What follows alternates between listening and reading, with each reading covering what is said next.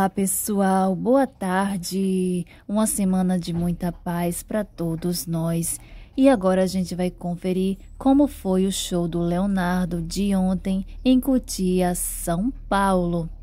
E a filha dele, a Jéssica Beatriz, compareceu, gente, fez presença super especial no show do pai dela, o Leonardo. E claro que ela tirou aquela foto garantida, né? E mostrou também para os seguidores um pouquinho de como foi o show do Leonardo. Confere só.